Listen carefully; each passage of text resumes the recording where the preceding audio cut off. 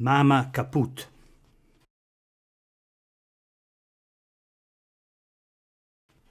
La camera dello zio Rocco era piena di soldati che dormivano per terra.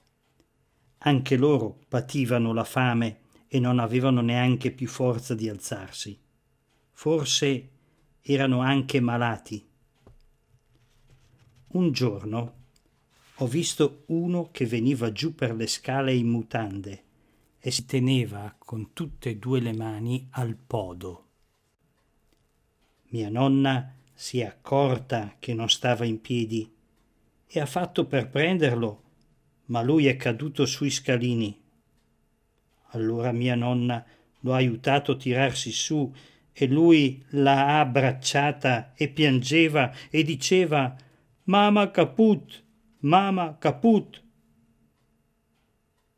Poi sono venuti giù due soldati con uno mezzo nudo e sono andati fuori diritti per la porta senza dir niente.